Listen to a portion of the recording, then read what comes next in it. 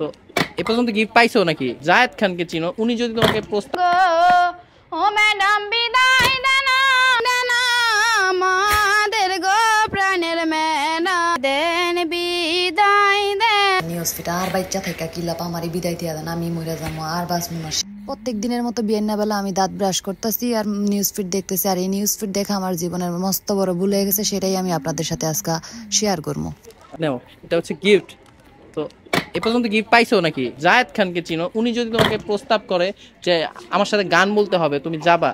আচ্ছা।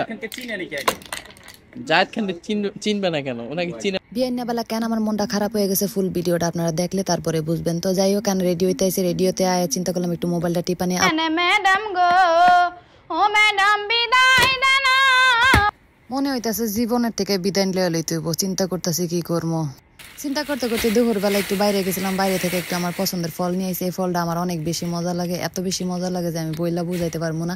আর মোবাইল ছাড়া আমি থাকতেই পারি না, মোবাইল আমার নিউজ ফিড দেখতে ভালো লাগে। তো চলেন আমরা আবার নিউজ ফিড বিদায় দেন বিদায় দেন ম্যাডাম গো। ও ম্যাডাম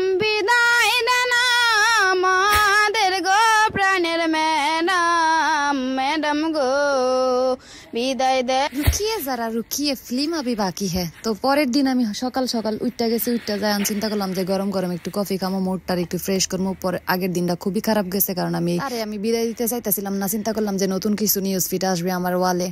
দেন বিদায় দেন ম্যাডাম গো। ও ম্যাডাম বিদায় দেন আমাদের গো। যেই একটু মনটা ফ্রেশ করে নিউজ ফিডটা খুললাম চিন্তা করলাম নতুন নতুন জামা কাপড়ের ভিডিও দেখব আর শপিং করব। আর এই হইল আমার লগে জীবন চিন্তা করেন আমার এই বিদায় দেন আপনারা প্লিজ আজকার পুরাটা দিন আমার লগে এরকম করছে এরকম করছে নিউজ ফিট আর বাচ্চা থেকে কি লাভ আমার এই বিদায় দিয়া দেন আমি মরে যাব আর বাস মনে শেষ।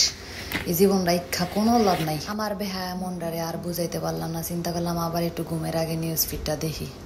বিদায় দেন বিদায় মাফ আমি মোবাইল চালানোই বন্ধ করে এই এক মাসের লেগে। আল্লাহ হাফেজ, গুড নাইট বাই বাই